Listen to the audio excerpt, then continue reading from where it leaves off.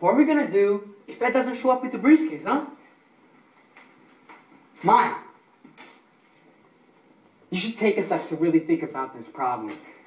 I mean, I don't even want to think about the chief's reaction if we don't bring back this fucking briefcase.